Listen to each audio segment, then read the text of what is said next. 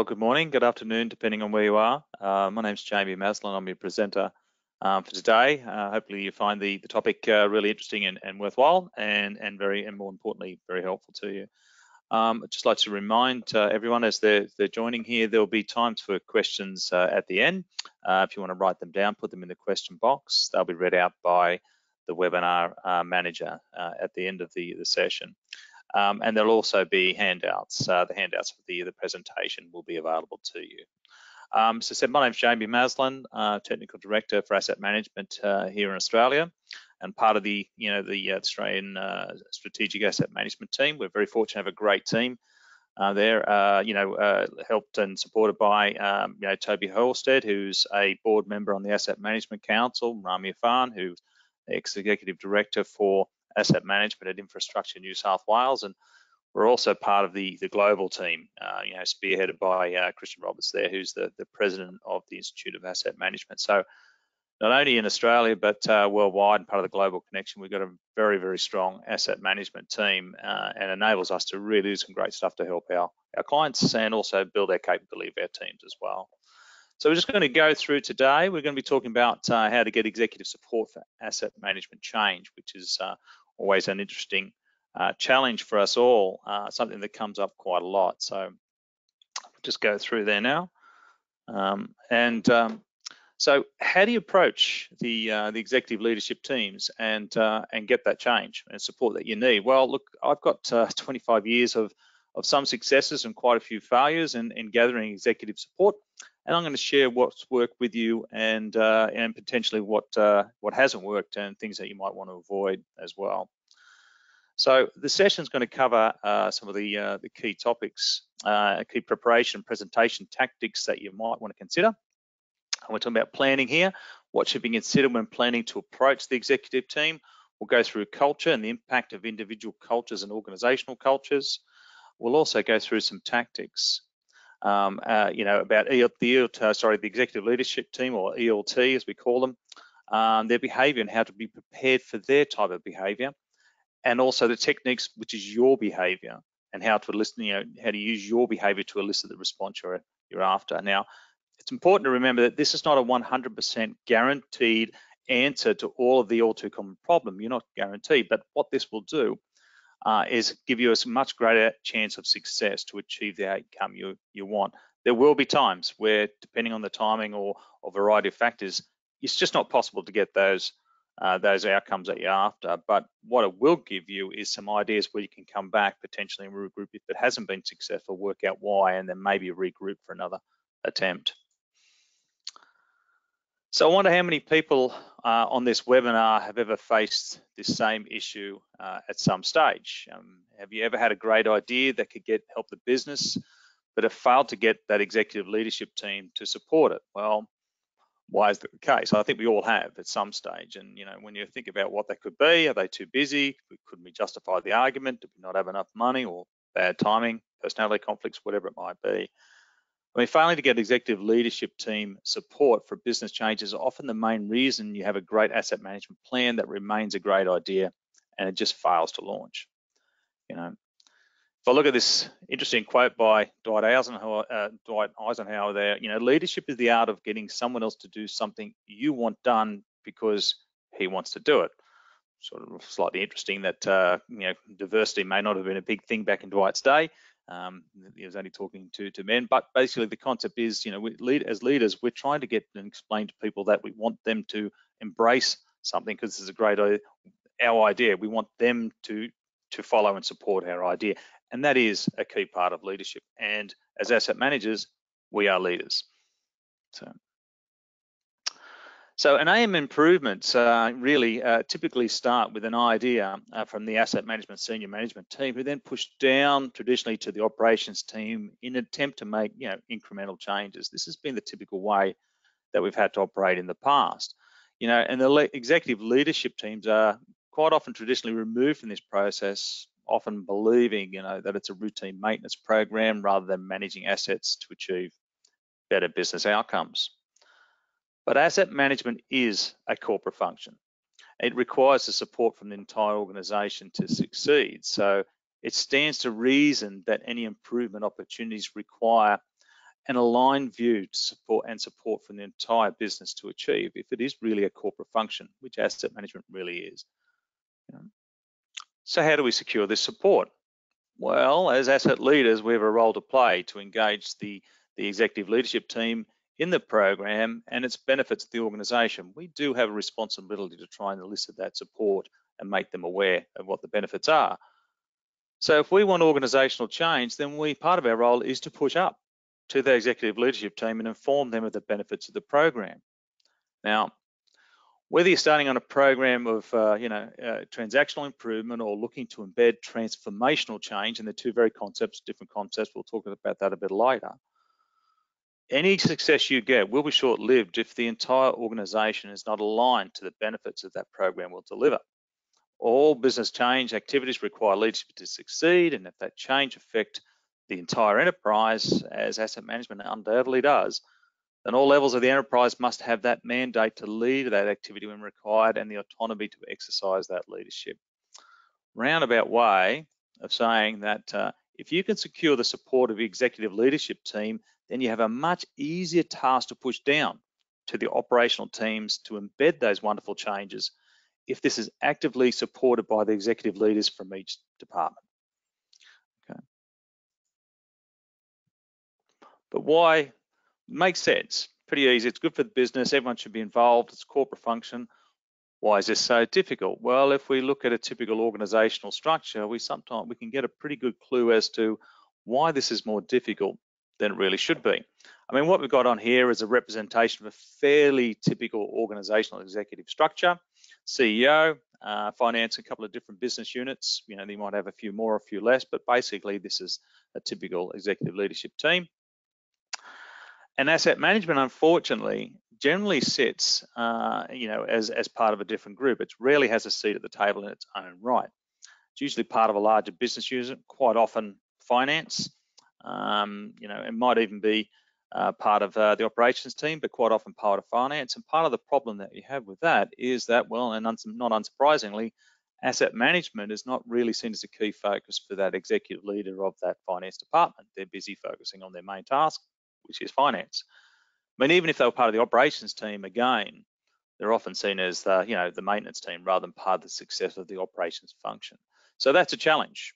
You don't have a seat at the table. You're not seen as a core function. To make it even worse, uh, this is a, a, great study, a challenge that was done, uh, you know, a study that was done in New South Wales government a few years ago that the average CEO now has only an average tenure of just three years and it's probably less now, to be honest. So, so with the return on investment from AM asset management improvements often taking several years to materialize, it's it's no wonder that it can be difficult to get a CEO excited about something that won't happen, you know, while they're in charge. It's going to benefit their successors and make them look good, not them. So, you know, you don't have a seat at the table. It's not part of the core function potential of the people you're reporting to. And even if it was, the CEO doesn't get excited by stuff because it's going to come after they've left. So these are some of the challenges that we face in trying to get that support.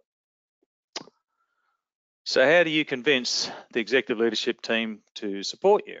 Well, after 20 odd years of a few successes and many, many failures, I finally asked the same question myself. So I went back and looked at uh, some of the different approaches and the outcomes that I achieved, and I aligned those to some published behavioral science techniques and factors that influence human behavior.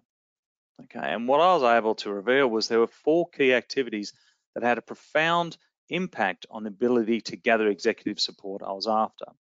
Okay, today we're going to share what's worked and just as importantly, what to avoid. Okay, so let's look at these four success factors that we could see. And again, these are led very much by behavioral science and, and human behavior tactics, not by the strategy or the plan uh, behind the idea. It's about how to elicit that response.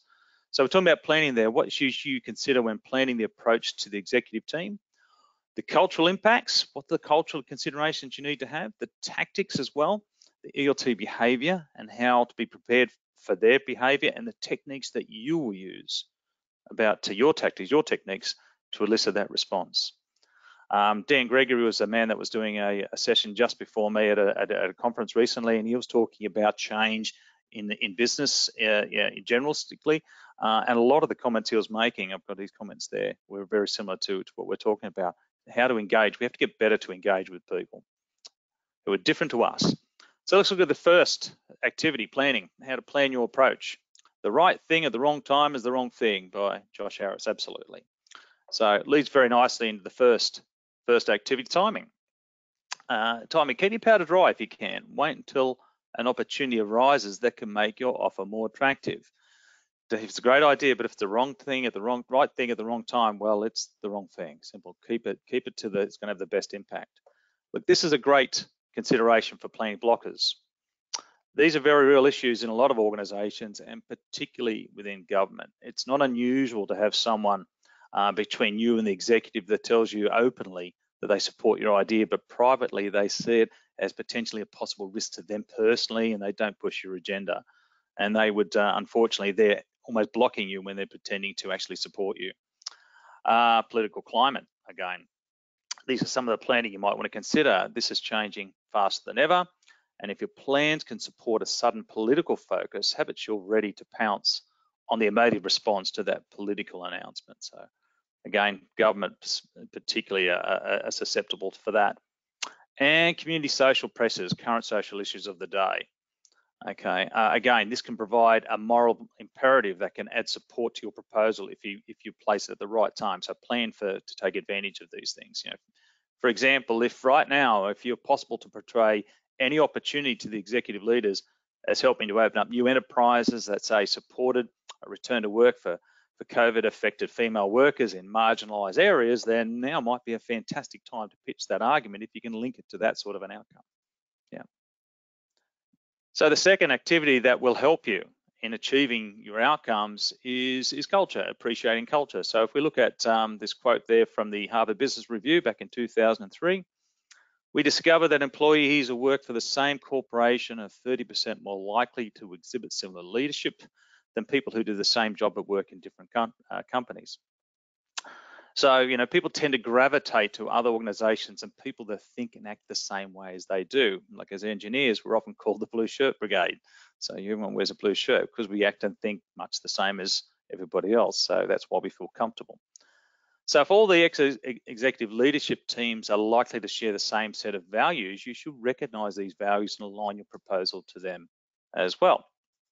Makes sense. So your proposal when you're considering these cultural impacts should target the following few things. You know you should have you should be targeting targeting that uh, the organizational values okay? Um, this opportunity supports who we are as an organization okay? So again if you look down the corner there that dan gregory uh, made a great comment align your value with your values. So the value of this proposal is aligned with the values of the business whatever it might be. So we have to make sure we get that alignment the other one there is uh, alignment to the individual. Okay, try to link it to the individual as well. This also speaks about what you espouse. This proposal is about your values. It's about the business values plus yours. So you're trying to make a connection. So they are more likely to want to, uh, you know, support your idea. Then the day, of course, it still has to be meeting the organizational goals. Um, so not only is it about who we are and who you are personally, what the business is about, but it also is what the business is here to do. So you need to make that connection. And this is the other one which we were talking about a bit earlier. Uh, determine if you're pitching transactional change, which is about following process better, or transforming transformational change, which is about looking for innovation. That comes from a, a great quote from Living Asset Management by and Hardwick. Uh, a really good consideration and something that I think a lot of us may have learned over the years that you can go to uh, an organization, and say, I've got an amazing idea which is really going to change the world going to be fantastic. But if they're not ready to change the world, they're just trying to get things in place at the basic level, that change might be too much. So at the same token, if you're going to come to an idea of just doing the same things but a bit better, they might be ready to say, look, we've got to do things completely different because that's not working anymore. So you have to understand is it's transactional that you're looking for or transformational. If you get that wrong, um, you know, your pitch is really, really going to struggle to get support. Now, this third activity we're talking about um, there now um, oh, sorry, that's a great quote there. Culture eats strategy for breakfast, Peter Drucker. Absolutely. If you get the culture wrong, you no matter how good your strategy is, if you don't align your outcomes to the, the culture you're trying to uh, trying to work within, um, then your, your chances of success are, are, are pretty slim. So, okay. So the third tactic, uh, third outcome or activity we're looking for is tactics. Okay, tactics. The you know we're talking about the tactics to use on the executive leaders, um, you know, to target their behaviour and knowing their response triggers. People will alter their mindsets only if they see the point of change and agree with it. Pretty fair enough. I'm not going to do it if I don't think it's a good idea. Well, we're going to target. We're going to use some tactics to target those those uh, outcomes, those, and and try to elicit that response from from those um, executive leaders. So uh, let's let's have a look at a couple of those. Um, again, if you want me to care, from Dan, if you want me to care, link your solution to something I care about. Makes good sense. So some of the behavioural tactics we can use on the executive leadership team. One of those things is you need to believe in your solution. Now, uh, in all my life of working with senior leaders and, and executives, I think I've only ever come across one uh, he was a bit of a buffoon and really shouldn't have been there. I don't know how that person actually made it, but the rest of them, very, very smart, intelligent people, knew their business, earned their spot at that executive table, uh, and were no dummies. And really, they could smell problems or issues or a lack of belief a mile away. If you don't believe in your solution and you don't know it backwards, they'll work it out pretty quick. If you want to convince them and you want to and, and that it's a great idea, well, you probably truly need to believe it, and you need to project that you believe that. Look, this is a great tactic to use on the preload. Speak to the executive individually beforehand if you can, or research so you know what triggers a response personally. So remember, one, one executive can shoot you down and sink your pitch in the middle of an organization, in the middle of a group there. You only need one and, you, and you're shot. Preloading, you know, if you talk to an executive, you have the opportunity saying, I'm really looking forward to speaking you, to you next week. I've got a great idea. It's going to help you. You're going to love this because this is going to solve a problem you've been dealing with for ages by preloading, they already go into that meeting thinking there's something good for me coming. Okay, it's a really, really good tactic. Again, another tactic, be brief. Executives are overloaded with information, short, sharp, give it to them the format, get it in, hit the mark, get out. Okay, um, they don't have time to sit there and, and interpret, give it to them, give it to them fast. And use lingo.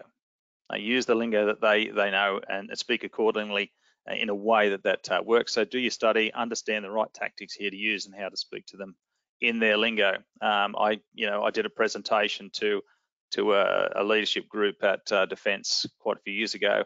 I often tell people it's probably the worst presentation. I wasn't prepared. I didn't understand how to speak in their acronyms. Um, it was a dismal failure. Lack of lack of understanding how to speak to them. The rest of the connections were, were a waste of time. Okay, so um, hmm, okay, um, with them, why do I care? Um, part of the tactics when you're presenting, um, you know, make sure that you're presenting something that uh, if you do nothing, this could hurt you. So this is going to trigger a response from these are tactics you use. At the same time, you then follow that up by if you do this, however, this will save you. You know, so these are some of the tactics you should be using, you know, to try and get that response you want.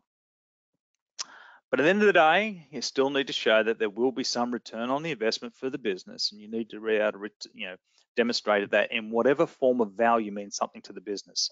So it could be financial, it could be social, it could be, you know, reliability, whatever it is. You still need to be able to demonstrate and have that up your hand to say this is this is going to make the whole business look good as well.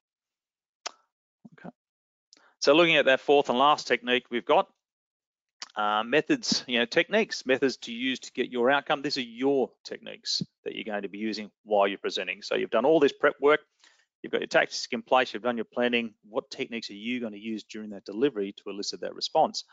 Um, great, uh, great comment there from uh, George Carlin. Never underestimate the power of stupid people in large groups. Absolutely, we mentioned before. One person in the executive leadership team can shoot you down. Executive leaders tend to work in the in a pack if one person says it's a bad thing, quite often they all fall in line with that person. They tend to tend to coalesce around that there. So you don't want to give that one person the opportunity who's uninformed or whatever to say something negative because they can take the rest of the group with you. So what are some of the persuasion techniques you can use to influence that ELT when you get that opportunity in front of them? Okay. Again, be confident, speak with authority. People want to listen to and support people they trust. So if you speak with authority, They'll feel comfortable that you're informed. It's important to look and sound knowledgeable about your subject and believe in it. So you need to speak that way so they feel comfortable. They want to support you. You're there in front of them. They want to support you, but they want to feel comfortable. That's that's a good thing to support. These are techniques to try and elicit the response you want. Mirroring. This is again, and I'm using some of these psychology techniques that are, are well documented. People, uh, you know, often, you know, if you mirror style, uh, people, it's a natural behavior for uh, for people to uh, to gravitate to others that they see as like them. So if people stand or act or talk or whatever in a certain way, if you mirror that behavior, they naturally feel more comfortable. They're like me, so I'm more comfortable to feel comfortable, to, you know, to, to support them because they're more like me. Okay. Flattery. I mean, if you talk to some of the best uh, influencers around the world, they'll talk about flattery to the cows come home. Absolutely, this works. If you tell people, it's a natural behavior. If you tell people, oh, I like the way you, you look, your style, your, your hair, your, you know, your outfit, whatever it might be, people naturally feel com more comfortable. I mean, is anybody, I don't know if any of you guys uh, remember if someone said something nice about you, it probably made you feel more comfortable in their presence. Flatteries are just a way of disarming people away from a tendency to block you out, make them feel more comfortable and more open to listening to your idea. Uh, another tactic, uh, the persuasion technique you can use is return on favors before you get there. Again, it's a natural tendency for people to want to return favors.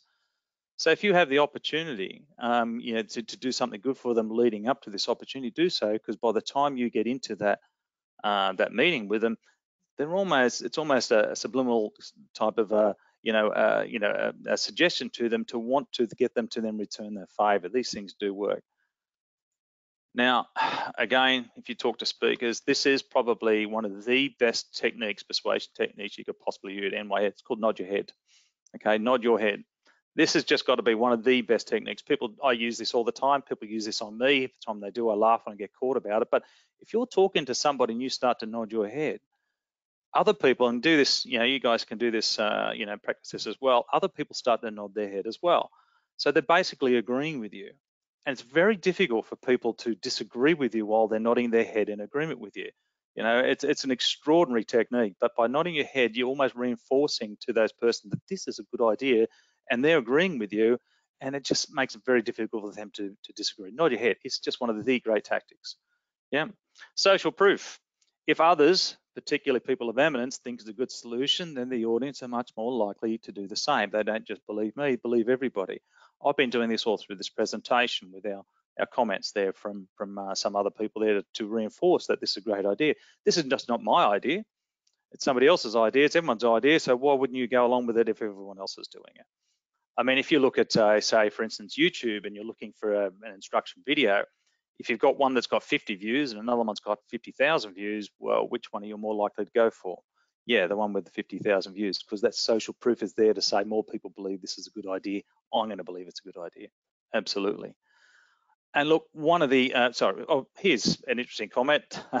has anyone ever, you know, you might be consultant or you might be working for industry, has anyone ever got a consultant report to say the same thing as you, just so the executives take notice? Yeah, it's a form of social proof. Somebody else of eminence has said this is a good idea, not just me. So it's more likely for you to accept that that's a great idea. Absolutely. And another great uh, technique you can use when you're presenting, just say, look, this is in short supply.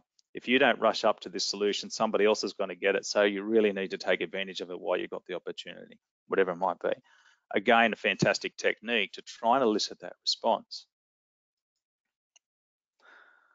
So in summary, if you want to have the best opportunity to get that all important support from the executive, there are four key activities you know, I'd like you to consider when you're trying to, uh, to go through that exercise again. So you plan your approach and get the best effect from the best possible timing, okay? And ensure your uh, proposal aligns with the personal uh, and organizational values and goals of the ELT and the business. So you've got your planning approach, your culture technique, you then got your tactics okay? Get to know the ELT members, what appeals to them, how to speak to them, what do they like and what do they worry about, and what can they get excited. If I'm speaking to an executive leadership team on behalf of a client, I now always ask, can you give me some details about who they are, what they like, and what their personal interests are, okay? If I can craft my discussion to something that they appeal to, to make them less likely to have to block out the idea and more welcoming and open to our suggestion, then I'll use that. I'm going to use any tactic I can. Um, and, and the fourth one is techniques, okay? Use these persuasive techniques or subconscious behavior triggers in your delivery so you can appeal to them more personally.